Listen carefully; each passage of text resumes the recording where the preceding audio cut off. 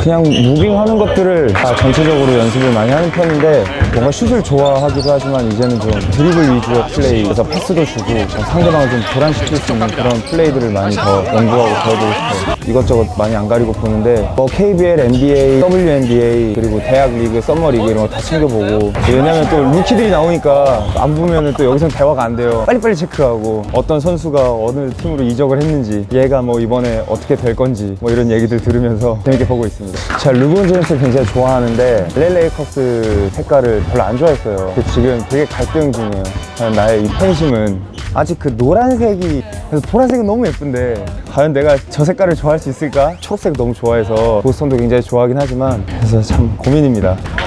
굿피플과 함께하는 KCBL 연예인농구대회 화이팅!